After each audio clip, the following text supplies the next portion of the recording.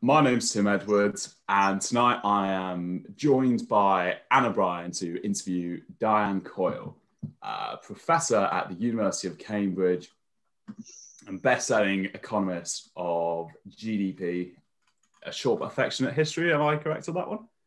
Yes. Brief, brief, brief affectionate yeah. history. My, my, apologies. And a, uh, not to mention the um, a, a wide range of accolades in a career spanning academia to the public sector. Diane's work has predominantly covered the difficulties and challenges of using GDP as a metric, uh, particularly in areas in which GDP cannot measure, such as uh, such as areas in the economy uh, where women provide, as well as technology and sustainability. Uh, we look forward to having her on and having a fantastic discussion. So over to you, Anna. Hello, everyone, and um, welcome again, Diane. Um, we'll cover some of your work, especially GDP, we'll start with, but we're also going to cover um, your, your, most recent textbook, uh, Market State and People, and your forthcoming book, Cogs and Monsters, and sort of like see if we can tease any of the content from that. And as Richard says in the chat, if you have any questions throughout this talk, please and um, you know post them in the chat or if you're a bit shy send them it directly to me or tim or richard or ben who will all um, who will ask them or pass them on to us. So hello again diane. I hope you're well. Um what i want to start with to sort of like launch our discussion is an article you wrote in the new york times last year about um, the persistence of unpaid work by women in the home and um, how the coronavirus and the pandemic had sort of like highlighted this issue and highlighted the fact that despite women's move into the workplace, the fact that women still do the bulk of domestic work. Um, and what I want to ask you basically is what does this tell us about the sort of central critiques of GDP? And um, how has sort of COVID-19, has COVID-19 sort of led to a broader discussion on this? Um, this is one of the questions that's been asked about GDP ever since it was invented in the wartime and post-war years. And the question really is, what counts as the economy? Because the system of measuring was devised not only for countries like the UK and US, uh, but also for low-income countries. It was developed by the United Nations and meant to apply to all nations. And so right from the start, there was a debate about how to measure what we would now call informal work so things done that are not in the paid economy. And that includes all of the unpaid work in, in, in the home, but also in low income countries, things like farming for your own, um, for your own eating or making clothes for yourself at home and so on. And um, the decision was taken after some debate in the 1950s to exclude that from um, the, de the, definition of GDP. So it was put outside what um, is called in the jargon the production boundary. And because, at least in um, the developed economies, most of that work is done by women, it meant that a lot of those household activities that are obviously economically valuable, you know, looking after children, cooking, cleaning, repairing the house, and so on, they've, they've all got value, but, but they were counted as being outside the economy. And it had this, this very strong gender bias. So from time to time, the debate has revived about um, is that uh, the right place to put the production boundary, or should there be efforts to measure this work that's done outside the market economy? And a lot of countries do occasional or even more regular time use surveys. So it isn't that it isn't measured, we can measure it. We can measure how many hours people spend doing paid work and unpaid work. And we can value the unpaid work using either what those people could have earned themselves in another job or using the market rate for being um, a cleaning person or a, um, a, chef somewhere. And that, that gets done from time to time. I had already started thinking about the production boundary because before the pandemic, because of um, the way digital technology is changing how we use our time. If you think about what happened in the 1960s and 70s when lots of women went out to paid work and bought uh, uh, hoovers and washing machines and uh, paid people to do childcare and bought ready meals and so on, that expanded the marketed economy. And so it looks like they grew really quickly and were very productive. But part of that was an artifact of this shift in activities over the production boundary. Digital has been reversing that in some ways because things that we used to pay for are now done inside the home. So things like sorting out your own travel agency, doing your banking online have been substituting for paid activities.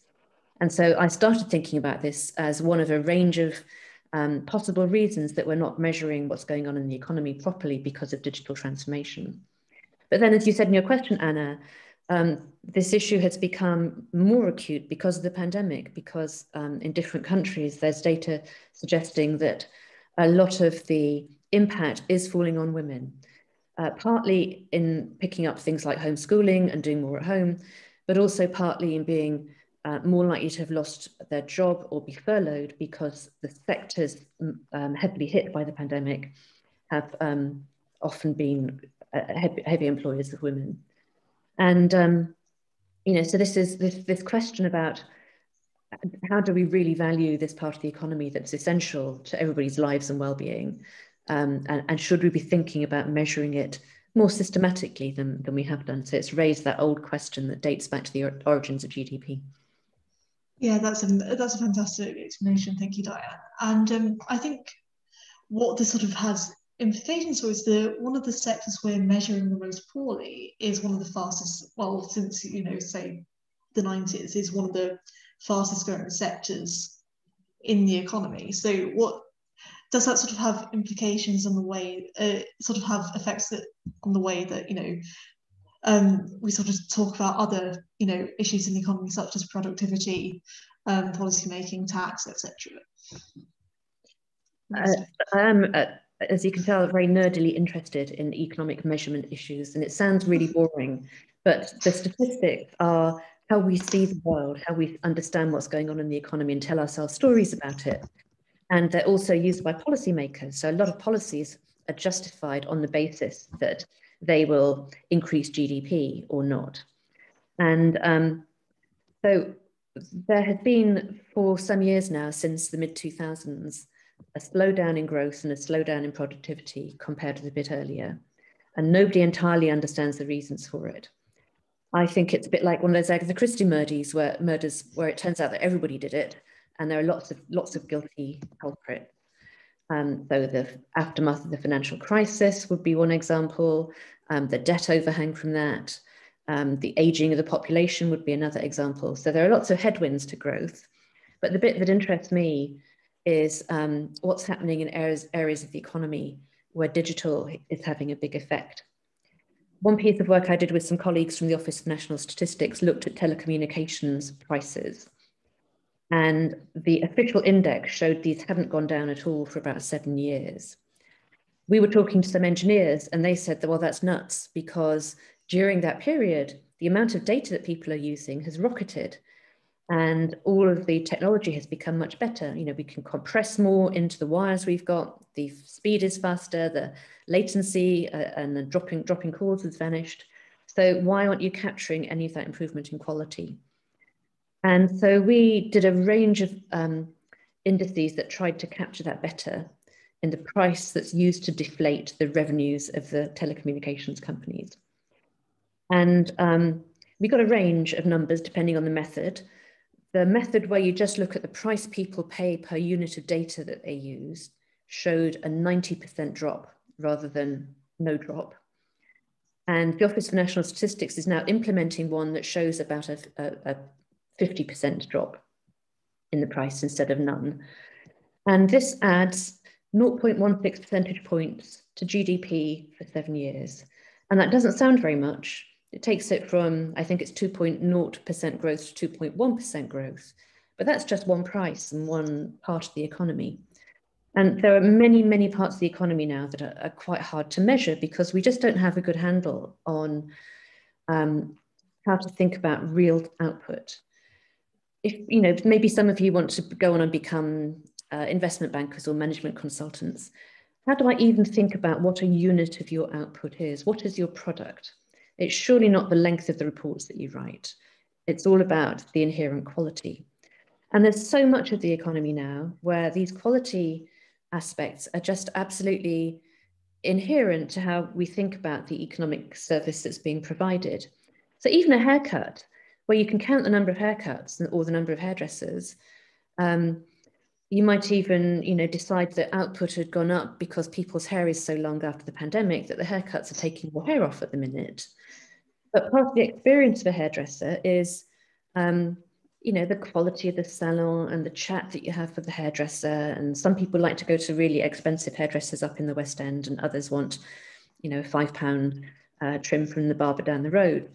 And so the price itself is a signal of quality, which isn't how we normally think about calculating real GDP using price hmm. deflated. So all of this really interests me, partly because I like digging into the numbers, but also partly because it raises some really profound concepts about what is productivity when most of the economy is not products, but services? Should we be thinking about how people use their time and the well-being they get out of the things that they're spending doing their time? You know, should we have a time budget constraint as well as a monetary budget constraint in our economic models? So I think this is um, just fantastically interesting territory. It's a long, long-winded way of saying thank you for the question. Fantastic. I I think yeah. So does you sort of talked to us about you know how um you know sorry um so the other concepts you've talked about sort of like reciprocal to the consumer you've talked about sort of like the free services of social media and that how that's on the sort of digital side and we can't really like assess how you know you know the sort of value of that in a sense. So do you think this sort of like has um, implications for how the story consumers tell them uh, themselves about because you know they get this state uh, this um, service for free and it's not exactly clear where the sort of economic cost is um, do you think that sort of affects the way people consume these free services and sort of like i guess it has implications to like how they sort of you know, use their personal data? Are they more careless with, um, you know, what they click on, that sort of thing? We don't really know well how to fit a lot of these services into the framework we use for accounting for what's going on. I've been doing a piece of work looking at how much value people say they get from free digital services. And we also included um, competing services that you have to pay for, so news online and printed newspapers, for example, and some free services that are not digital, like being able to go to the local park. And it's clear that consumers assign a high value on average to these services, but it's quite unevenly distributed.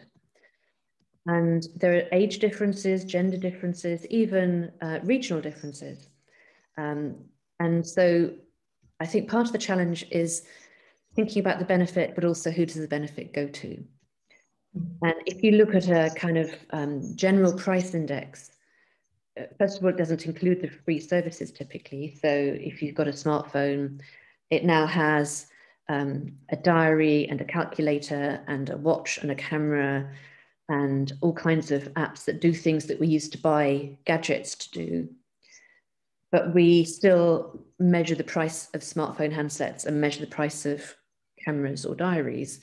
We don't measure, we don't use the zero price of the app to measure the timekeeping services and, and that sort of basic good concept. Um, but even setting that aside, um, there's, there's people get huge value from these free digital services, and we, we haven't quite figured out what to do about that. Should that become somehow part of GDP, which after all does capture the electricity you use and the fact that you pay for your service plan? Um, or should we just try to measure separately the economic welfare that people get in addition to the market transactions that they make? And if you think that, then there are whole areas of other economic welfare that we don't measure. Hmm. Uh, benefits from nature, the benefits of going to that public park, which is just as much as the benefits people get from Facebook and actually more evenly shared. Um, so there are lots, lots of public goods that we could think of approaching in the same way. So once you start thinking about, well, measuring GDP and the market economy has these limitations, so let's go broader and try to measure economic welfare, it actually just opens a can of worms about what you ought to include and what approach you should take to distribution. Because GDP ignores income distribution questions, it's just adding up pounds and every pound has the same weight. So I guess um, the argument is that even if you know GDP measures the sort of economic uh, transactions we make well. It's not necessarily measuring the right things to use in policy that's supposed to increase welfare and that sort of thing. Exactly. It's essentially your argument. Um, so just one quick question for uh, so that's very relevant obviously to the sort of public policy element of our talk but just before then i want to ask you um, so we sort of like had these discussions about you know what should be included in gdp um, is there any sense that this is sort of moved into more of the mainstream of this uh, discussion in uh, macroeconomics recently? Or has it sort of previously been more concerned with the more niche elements of economics, such as feminist economists when it comes to, you know, work in the home or um, other sort of heterodoxies within economics, or has it always been a sort of level of controversy that it is today? Really interesting question. Um, I think the impetus for thinking about uh, going beyond GDP or thinking about environmental impact actually comes from the policy world more than it does from inside economics themselves, although I think the economists are now starting to catch up with that. There was um, a post by Noah Smith on Substack early this week where he talked about the failure of the mainstream economic journals to um, have many articles about climate change. There are loads of economists working on climate change, including in mainstream economics departments. Um, but it, it hadn't yet made it into those sort of core mainstream, um, highly re regarded journals. And I think that's changing, but I think a lot of the impetus change does come from um, many people saying, you tell us GDP has going, been going up. We tell you things have not been getting any better for us. There's something going on. So can we um, mm. start to explore the, this divergence? Yeah, fantastic. Um, so I think that sort of brings us to um, sort of one of the critiques of economics in market state and people is that economics has sort of been too sort of hubristic when it sort of comes to assigning public policy. What were the sort of other sort of well, have you identified any other? Um, so I should explain that Market State and People is a sort of textbook that um, uh, you know uh, it's, it's, based on, I believe, a course you've taught on um, uh, public policy economics, and um, uh, it's sort of it's it has great reviews from the Financial Times, for example, that um, sort of praise you, I guess, for maybe your sort of humility in how we, how economics as a profession approaches um, uh, public policy. Would you say that's a fair explanation? yeah, okay, nodding. Um, so were there sort of any other failures aside from the sort of GDP argument that um, you identified that made you want to, that sort of inspired you to sort of correct it, I guess, in this book? Well, the book and the course are designed for people who might be interested in going into public policy roles. And my concern is that people who do that um, don't think there is necessarily an answer that's the correct answer, the single correct answer, or that if there is in a certain context, it's going to be the right answer for all time. And so the book looks at um, the different contexts in which you might think about leaving something to the market and when that gets better outcomes, or um, this government intervening in some way, and if it is going to do that, what kinds of interventions um, are likely to be successful. There's a lot of history in it too, to demonstrate that actually there have been different views about this over time. And the fashion uh, in economic thinking has gone from a very uh, government-oriented approach uh, during the wartime and after, after the war, for obvious reasons. To plan and uh, deliver wartime production, the government got heavily involved in the economy, just as it has in the past 12 months or so. And then we had in this country a Labour government that nationalised lots of industries, introduced the welfare state and the National Health Service. So there were a big expansion then in the activities of government. And um, that seemed to go fine for a while, but then broke down. Um, inflation increased, growth slowed down. We had the phenomenon of stagflation, partly because of the oil price shocks. And there was a philosophical change too, um, partly in think tanks, but also in economics departments, uh, towards the idea that markets were a better way of organizing economic activity um, unless there was something obviously wrong with them, unless there was some market failure. But the right answer, or what people thought was the right answer, changed as the context changed. It was different in different countries. There have been very many different models of capitalism, and some of them are more successful at some times than others. And there's no direct, um, straightforward link between what model of market economy does a government operate or a country operate and, and what's its growth performance. There's nothing simple about that at all. And I also wanted to underline that the reasons that um, markets fail are also exactly the same reasons that governments fail as well. So things that are uh, right at the heart of, for example, modern industrial organization theory and regulatory economics about information asymmetries, they apply just as much to regulators and governments as, um, as they do uh, in private sector transactions. So there are just some circumstances where it's really difficult to get to the ideal uh, use and allocation of resources because of the characteristics of, uh, of that particular sector or that particular activity. And um, so uh, this, is, this is turning into a very long advert for my book. I hope, I hope you read it. But, um, but I, I, hope it does have a bit of that humility that you talked about in your question, Anna, but also um, explain why there is this complexity in running modern economies uh, with a lot of intangible goods and relationships matter. So social norms and social capital have a big influence on economic activity. That's fantastic. And I kind of want to go back to um, what you say about the amount of history in this um, book as well. It's kind of a pet issue for me, I guess. But um, so do you think that, you know, teaching the history of economic thought is said, not even going back to post-war, but going back further to, you know, Ricardo and Mill and Marshall and, um, you know, all the old boys. Um, do you think there's a sort of an impetus to teach this history um, so that we can better assess the, the theory's limitations, or do you think it's just better to like get the theory out of the way, make sure people have a, as good a grasp of that as possible, and then just sort of leave them to figure it out?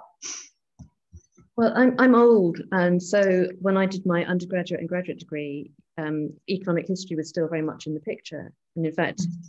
During the PhD, we had two compulsory economic history courses. And um, I have always really valued that learned, learned a lot from it.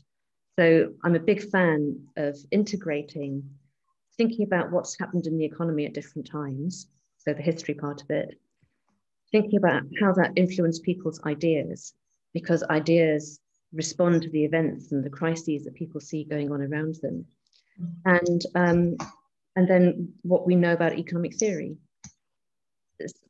So I, am not an advocate of, of um, entirely competing interpretations of economics, which is uh, the argument that some of my former students at Manchester were very powerful advocates for this kind of inherently pluralistic approach.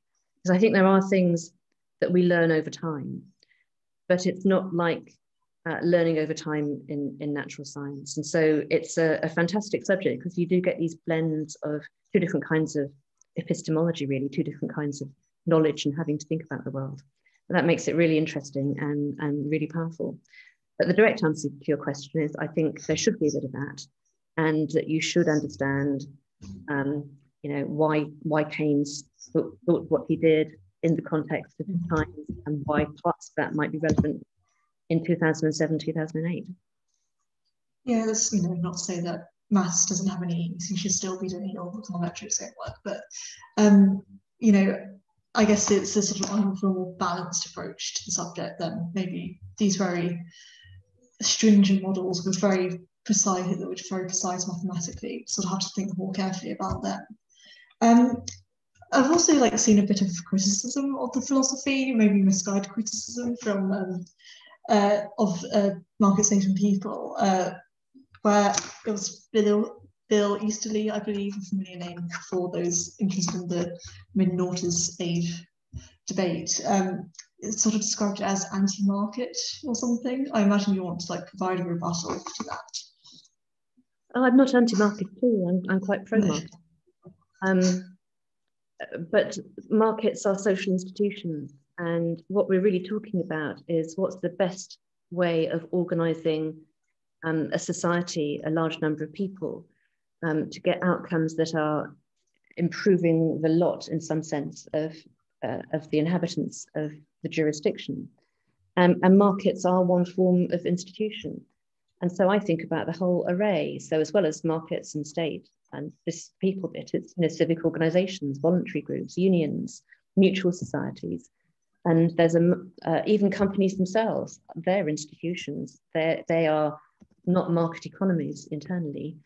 Um, uh, so there's a great quote from Herbert Simon, I think it was, who said that if a Martian visited Earth and looked for uh, the areas of market operation compared to the areas of planned activities, because of because of companies, because of corporations, the, the domain of the market is actually far smaller. Um, yeah, so I think this sort of prescribes something else. Um, so sort of viewing maybe government's remit as sort of more than um, sort of a sort of occasionally intervening to sort of like boost um, economic spending now and then. You know, it's not just for recessions, it's sort of like shaping the way these institutions institutions operate. Um, what sort of, um, you know, what is the sort of ways government can do, can do this and has government up until now been too unambitious to um, take on this role? I just think the way that we think about government intervention has been um, it, quite quite narrow.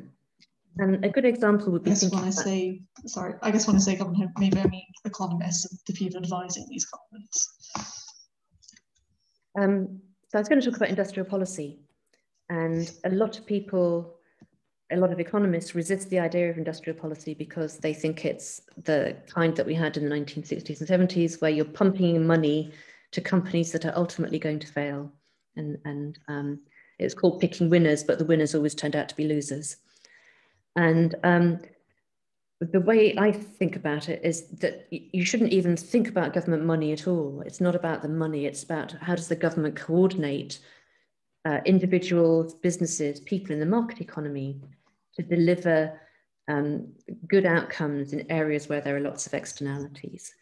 If you think about the, the government's new net zero targets, um, it doesn't really need to think so much about what is it going to invest itself in green technologies.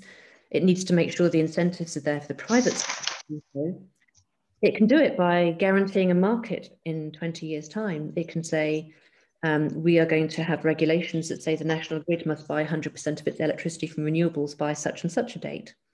And then the private sector will have to make the relevant investments.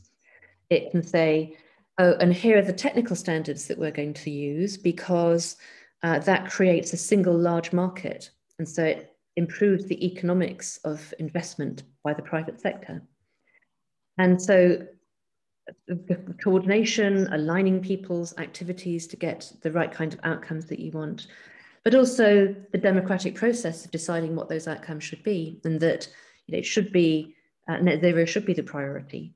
Um, that's that's part of of the government's activity. I've slightly lost the thread of your question now, I have to say, Anna. Sorry, no, that's my fault. I'm not particularly coherent today. Um, I think, yeah, that covers what I, I guess um, my question is, um, no, I think, no, I think you have covered it, yeah.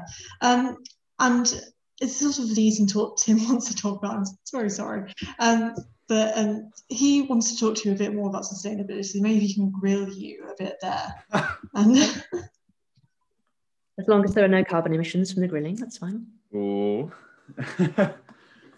excellent. So, um, yeah, so on to sustainability. Um, I think there's been a massive uptick in, at least from what I've seen, the interest from economists in sustainability. With a, I think one of the biggest, most high profile one would be Mark Carney and his new book.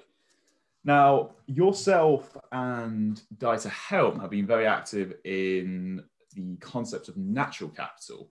And I think as economists, uh, I think we're very familiar with talking about capital goods and capital stock, but could you expand on the concept of natural capital and its consequences for the wider economy? Yeah, thank you. Um, so Dieter um, was the kind of founding member of the Natural Capital Committee, and I was a member of that for a while. And um, he was very effective in getting the government to take seriously the depreciation of natural capital in the UK. And that's things like what's happened to the climate, but also a striking loss of biodiversity because of farming methods and loss of woodlands, um, the uh, pollution of the rivers and the oceans and, and so on, and, and trying to measure what was happening. The idea of calling it a capital is that it automatically makes you think about the long term. And so it embeds sustainability because you, to value a capital stock, you have to think about its price over its entire future. And that value is therefore endogenous to the things that you decide to do. And so a particular kind of farming policy will uh, change the value of the natural capital stock of all the little creatures in the soil that give it so much of its goodness. This is not woolly stuff because loss of biodiversity means that agricultural productivity uh, will decline substantially unless nothing is done about it uh, quite quickly to restore biodiversity and particularly soil, soil quality. Um, so there's a hard economic aspect to this.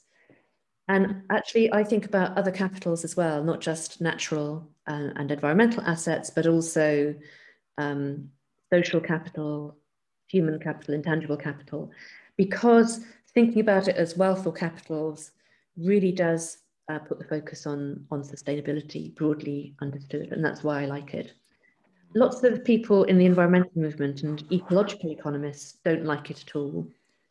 And it's because they resist the idea that you can bring nature into the monetary economy, as it seems you're doing by trying to put a measure in pounds on these assets. I mean, actually, you'd want to measure the physical characteristics as well as the monetary value. And, and my answer to that is um, if you don't try to estimate a monetary value, then in all decision making, you're putting a zero there.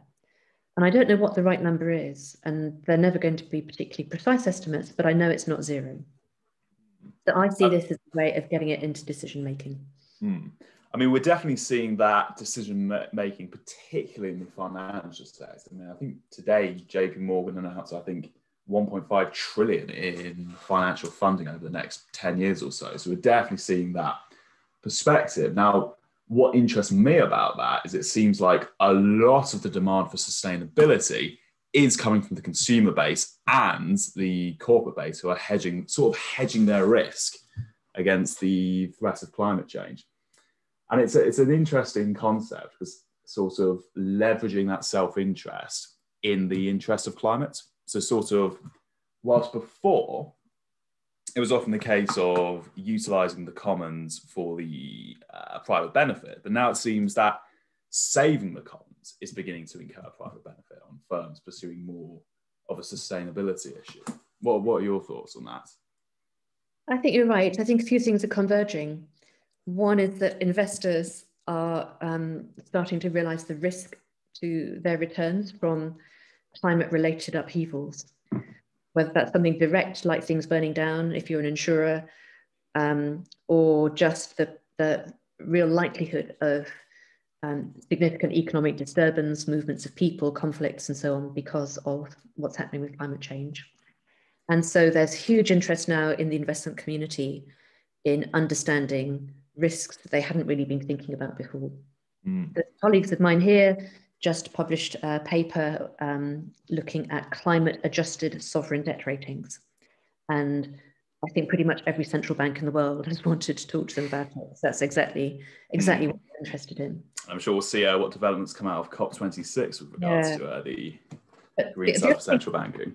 The other thing about the non-investment corporates is that it's partly the consumers, but also partly employees. Mm. And there has been a real change uh, particularly among people of your generation and a bit older, in the priority that they put on this and on taking corporate responsibility seriously. Then a lot of non-financial companies now, I think there is growing interest because they want to incentivize and retain their good employees. Mm. I mean, I suppose there is a risk of the sort of greenwashing effect where companies overstate or inflate their environmental credentials in order to attract the uh, highly motivated and ethical youth and additionally to um, almost as a PR front. I mean, what would your thoughts on be sort of ensuring that conflicts of interest is uh, kept under control? And so firms accurately report their climate data as opposed to simply literally coating it in a coat of green paint. Um, I think, I mean, some companies don't even bother greenwashing. They just don't care. There are lots of, you know, not very well behaved companies out there. Um, I, I have a little bit of sympathy for them because there are no standard measures mm. for these things. And the accounting profession is doing a lot of work now to try to standardize how do you measure your environmental and sustainable sustainability um, indicators and goals, but that's not there. And so you can't really entirely blame companies for finding things that are easy to, to measure that mm. don't necessarily get to the heart of what you what you want them to. Mm. Fascinating. Now, I think um, on the subject of uh, things that are challenging to measure, so things that for some people are challenging to comprehend, you've recently done a, a uh, significant chunk of work on the impacts of big data, both within the economics profession and how it's used by policymakers. Could you begin by expanding on sort of the innovations within uh, economics surrounding data? I think, especially from an econometrics perspective. It's all very new. So, for, for, in econometrics, it's actually the statistical theory is something that we're all very familiar with. Um, it's just applying it to very much larger data sets. So a lot of economists have used really quite big data sets for a, a very long time. And the machine learning methods are um, you know, scaled up, reduced form estimation with all of the advantages of having a huge data set, but also all the disadvantages that if there's a break in the structure, your model is going to break down in, in quite bad ways. And there's a famous example of that with uh, Google mm. Flu Trends. And it's partly that they changed the algorithm and, you know, partly that the context shifted, the, the flu season shifted. Um, so there's that, that, that side of it. The other side of it, and the one that I've been working on, is how do we think about data as an economic asset? Mm. Because um, everybody's talking about it, it's not the new oil. It's got completely the opposite characteristics. It's a non-rival good, but there are lots of externalities. A lot of the public policy debate is uh, about privacy and individual personal data. And I think that's kind of hijacked the discussion because there are negative externalities uh, potentially in terms of loss of privacy. But there are also positive benefits from people being able to access data and join up data that we're missing at the moment because of that. Mm. And so I'm really interested in thinking about if you're an NHS trust and you've got patient data, how should you be thinking about that? Should you uh, sell it to a private company? And if so, what should you charge? Nobody knows. Or should you instead make it available not openly, but to um, researchers or innovators so that new things can be invented that will benefit the whole of the population at some stage in, in future. So what are the public benefit uses of data? And also mm. the, the competition aspects. I was on something called the Furman panel that looked at competition in digital markets and some very big companies have built up such large hoards of data that they can both make money from selling more advertising and also mm. Ever better services, and that keeps other people out. So it's a, it's a barrier to entry in, in those markets. And so the discussion was that involved in the new digital. Was that involved in the new digital markets unit component? That's, that's what they're thinking about. So they're thinking mm. about should you make data interoperable? Um, uh, should you think about other industries the way that they have about open banking, where people mm. can give permission for their data to be used it's accessible through a standardized API in standardized formats for fintechs to come into the market.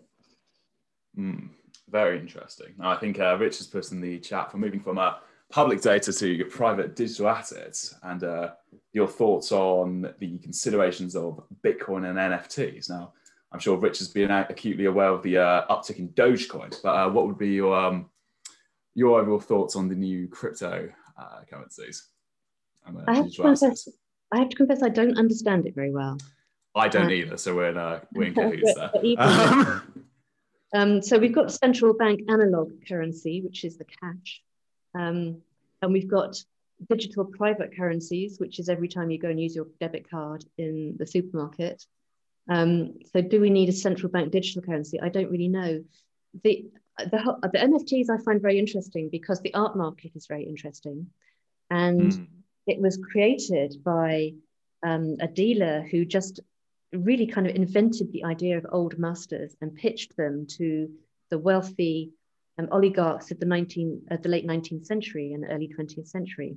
So this it's an entirely artificial scarcity in that sense. And there are all kinds of discussions about are paintings ever really authenticated as Leonardo da Vinci's, or did they just come from his studio? So that, that whole market is fascinating. And now there are JPEGs that are selling mm. billions of dollars. It's just truly bizarre. I don't really understand mm. it. I think we should ask Richard to answer his own question.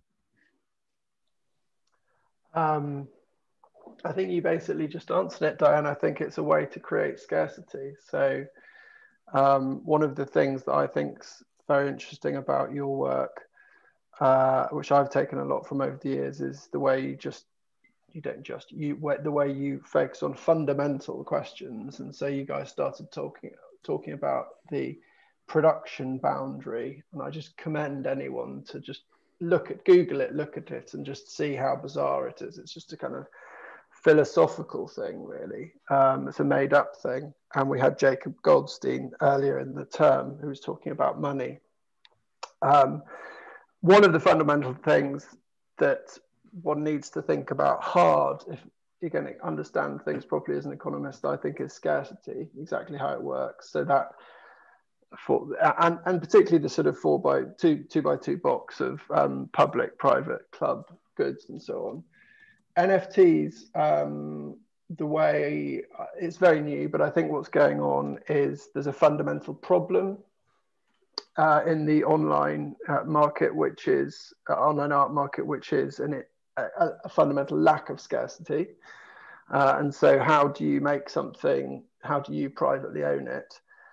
Um, and it's a way to allow people to create a one-to-one link with that JPEG with that um, piece of online art, what, video, whatever form it takes. Now, people quickly say, aha, you idiot. People can just screen grab it and then send it everywhere. So it's not really scarce. But, you know, aha, if you think, really think about the way art market work, art markets work, JP Morgan, let's say most famously, he bought loads of art. What did he do? He stuck it in a museum uh, so that everybody could see it. So typically, people that invest in art do want other people to see it, but they want it to be known that they own that art. And I think that's what's going on with NFT. So these people don't mind that you can screen grab their art, but they take value from the fact that somewhere they can be shown as a patron of the arts because they bought this thing and they're the only one that was able to do that. I think I'm right in saying, as a footnote, Richard, that JP Morgan donated the paintings to museums because he was uh, being chased by the Internal Revenue Service. It was part of the settlement. Is that true? Well, collectors over the ages. Uh, maybe that was. A, I didn't. I didn't know that. I knew. I've been to the J.P. Morgan Gallery. I didn't know that. I didn't know that. There's um, there's a fantastic biography called Duveen about this dealer whose name was I think it was Joseph Duveen who who invented the old masters market. So if anybody's really interested, I commend it to you. Mm. Well, we'll see what happens to uh, JP Morgan of today after uh, single-handedly financing the downfall of European football. However, that's a, uh, an issue for another day. Um, I'd like to move on to questions and answers now. See if uh, we've got any uh, hot takes from the uh, audience. So, anyone with any questions, put in the chat or. I might in, interject quickly. I, I find this art discussion quite interesting, um, I, especially when you're talking about how authentic you never consider art to be, and how um, sort of art, market, art markets react to say perceptions of the change scarcity. It was recently claimed that a Leonardo da Vinci, Salvator um, Mundi, that Mohammed bin Salman uh, bought for a very high cost, perhaps like as broke some sort of record, um, was a forgery. Um, so I guess like do, are art markets somehow unique in the way that sort of change in scarcity creates sort of like massive marginal effects on the sort of value of um, an artist's work. And um, I guess what Rich was saying about JP Morgan, sort of displaying the fact that he was a patron of the arts, um, this must sort of sort of show art, like of art, to be some sort of Veblen good, I suppose? Um, so I think the art market is really distinctive. There are obviously other positional goods, so not many people can have, you know, Highland castles and so on. So there's a bit of that to it. But there's a great TV series called Fake or Fortune, and they go through the whole process of authentication. You know, is the paint the right age? When you X-ray the picture, what do you see underneath it? Is it in the right style? What's its provenance, and so on. And it's often a very marginal decision, and that changes the value by orders of magnitude. And it's really bizarre when you think about it. But here is this object with some aesthetic qualities, and yet its value is either uh, ten thousand pounds or ten million pounds, depending on a very fine judgment indeed, not at all a scientific process. I guess, and you know, the same sort of you were talking earlier about haircuts, how people spend a lot of money on a haircut because it has a high cost and therefore it's a sort of indicator of its quality without necessarily being a better haircut. So um, I, I, guess I don't really have a question at the end of this, but um, it's very interesting how um, interesting. Yeah. sort of um, you know status uh, sort of changes the way things are valued. Um, and I also wanted to ask you a bit about um, something you were talking about earlier with Tim, uh, the whole idea that you know the youth, our generation, are um, the youth are more um, sort of willing, are more like engaged with environmental issues, and how. But the point Tim made was maybe they're more susceptible to greenwashing. Is this of sort of a sign that you know this sort of sort of self-interest motive for um, uh, sort of investing in more sustainable technology isn't enough, we should still go further to uh, ensure that the cost of environmental damage are sort of more internalized by these um, uh, investment firms. I think we're going to have to do quite a lot to hit the targets and avoid um, uncomfortably high increases in, in temperatures and loss of biodiversity. It's, you know, eating less meat and dairy produce, um, traveling less. So it's going to take changes in our behavior as well as changes in technology uh, through investment in, in um, you know, lighter planes or planes made of graphene or new electricity grids or, or what have you. Um, it's just really quite a big societal change. I'm not sure how successfully we're going to do it, to be honest. I've become quite interested in the narratives governments and others tell about the economy. And this started from the GDP work because GDP figures get revised and they get revised over a period of years. So stories that we tell ourselves about recessions. Is this building on some like Robert Shiller's work? Yeah. Mm. So they get revised away. And one example of a great counterfactual history was late 1970s. Um, uh, the ratio of uh, uh, government debt to GDP looked like it was rocketing, balance payments was, was rocketing. Denis Healey um, had to leave, um, had to come back from the airport when he was leaving to go to Washington to um, sort out the crisis, and the IMF got called in to bail Britain out. And that crisis was shaped by looking at these ratios to GDP. And the collapse in GDP was the reason that the ratios had gone up. And then the collapse in GDP got partly revised away as the years went by. And so if you run the counterfactual history, if it hadn't been quite so bad, and if the Labour government hadn't called in the IMF, might they have clung on at the 1979 election and Mrs. Thatcher not happened? And then the course of uh, British economic history would have been very different. But you know, the, the Robert Shiller book I think is interesting because it gives examples of other kinds of narratives. And I think quite often when you're thinking about big changes in the future that you want to bring about, a narrative is helpful. So Tony Blair's Cool Britannia got very mocked, but I think in a way it was part of an economic policy to get people optimistic, investing, thinking about the dynamic parts of the economy, the creative sector, and so on. Um, so yeah, I think the narratives are a really interesting direction that some economists are taking now I want to push back on that a bit. So what you're sort of talking about here are sort of two kind of very different responses to the climate crisis. One is sort of like creating narratives to change individual behaviour, such as you know eating less meat, that sort of thing. Another is um, you know a sort of bigger institutional change that you know no matter what individuals do, it still needs to happen.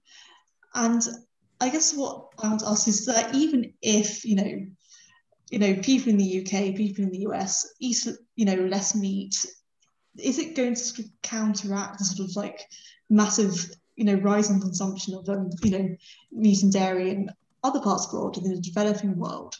And um, to that extent, how sort of useful are these narratives in preventing climate change, and how uh, is it is there an argument sort of just like sort of ditching them and just like relying on government, you know, and pushing them to do the bulk of the work to affect this institutional change?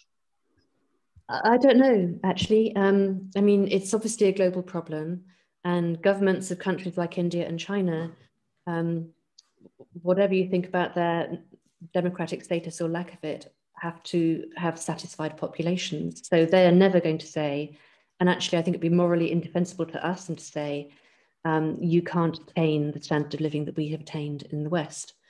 Um, and that means that there's a corresponding increase in the amount of change that we have to um, bring about ourselves in our own um, boundaries. I don't know if it can happen. This is a terrible global collective action problem, and we don't have the institutions to be sure that we'll get a successful outcome. I mean, it's very interesting discussing the idea of narratives with respect to like the discussions of values and institutions and sort of the broader picture of what an economy is. I mean, I, I disagree with that. I would say that the uh, the idea of the narrative transcends the uh, government itself. It, in, it, it, engrosses itself within the government. It engrosses itself within the private sector, like we were previously discussing, within these uh, activist youth workers of tomorrow. Um, also, I back Shiller because he's got a Nobel Prize. And again, forgive me for the appeal to authority, but I think uh, I, do, I do like a bit of Shiller now and then. Um, so no, I, I think the development and appreciation of narratives, I think, really reflects a sort of deeper change in economics, sort of being less myopic and more open and inclusive to a wider range of perspectives. There's a real interest in narratives in other disciplines. So in AI and areas of science, there is um, an interest in the consequences of, of um, adverse narratives, you know, vaccine denial, um, the AI is going to kill us all, those kinds of narratives. And um, so it's not just economics. Mm, I mean, like uh, yeah. as far back as uh, Max Weber, the Protestant ethic of capitalism, I think the sort of uh, underlying, sort of underlying intrinsic beliefs and motivations behind uh, econ. Again, I think going back to the economic history point, I think it's really important to consider those in the wider discussion. Yeah, I mean, I want to interject that I'm not saying narratives aren't, aren't important. You know, I'm a great believer in sort of teaching of history of economic thought, but um, I feel like sometimes we have to like think about maybe the limitations of it and how narratives, you know, fade in national politics, uh, politics to a great extent. We might be, sort of overestimate the extent to which they mm. permeate, you know, international populations, and that ultimately is what they're going to need to do if we're going to solve this crisis. But I want to, so Ben's question doesn't get ignored, I do want to ask it, and it is relevant to this um, narrative point um, about how economists, he says, are broadly in agreement that carbon taxes are um, a good policy, one of the best policies to tackle the climate crisis, but the public don't agree. And he points out that you are one of the founders of the Bristol Festival of Economics, you know, on our doorstep. And um, he wants to ask how important is it going forward that economists communicate more effectively with the public regarding regarding climate change? Well, you have on the call um, the two co-directors of the Bristol Festival of Economics with me and Richard. Uh, so it'll be a great one uh, in 2021.